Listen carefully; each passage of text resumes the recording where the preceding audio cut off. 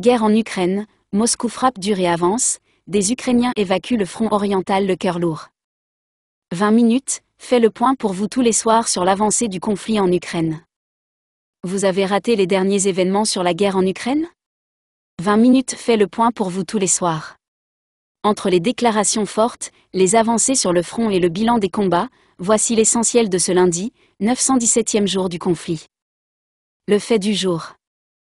L'armée ukrainienne est toujours à la peine dans l'est du pays, où les troupes russes poursuivent leur avancée, même si elles ne réussissent pas encore de percées significatives. Ce mercredi, le ministère russe de la Défense a d'ailleurs revendiqué la prise de la petite localité de Komishivka, à une vingtaine de kilomètres au sud-est de Pokrovsk, une ville qui constitue un important centre logistique.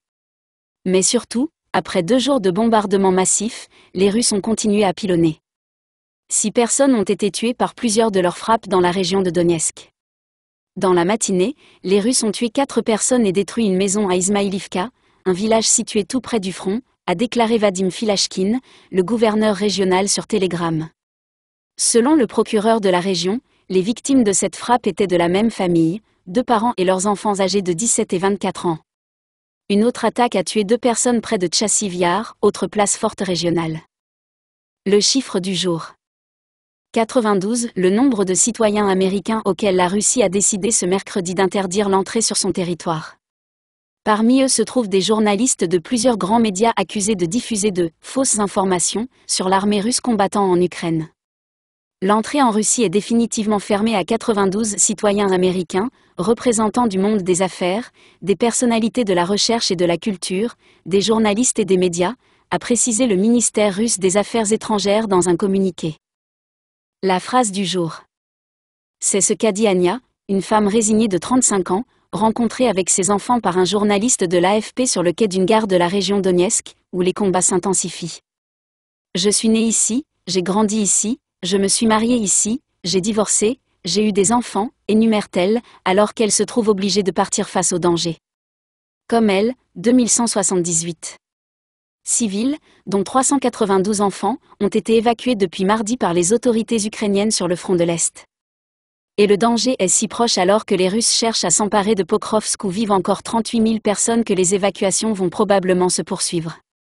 Les banques de la ville et plusieurs administrations ont reçu ordre de fermer d'ici à dimanche. La tendance du jour. L'OTAN à la rescousse?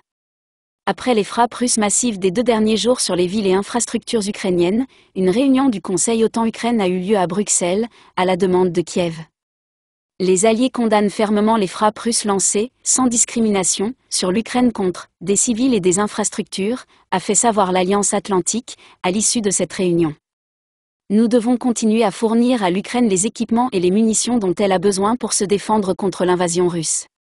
C'est vital pour la capacité de l'Ukraine à rester combative, a souligné devant les ambassadeurs de l'Alliance son secrétaire général, Jens Stoltenberg, cité dans un communiqué plusieurs pays de l'OTAN ont également plaidé pour la levée des restrictions pesant sur l'usage par Kiev des armes fournies par ses alliés occidentaux, notamment les missiles à longue portée, pour l'aider à mieux se défendre contre ces frappes meurtrières, a par ailleurs fait savoir une source diplomatique. Le vœu le plus cher de Volodymyr Zelensky depuis maintenant plusieurs mois. Mais aussi une ligne rouge, tracée par Moscou et que plusieurs pays hésitent encore à franchir.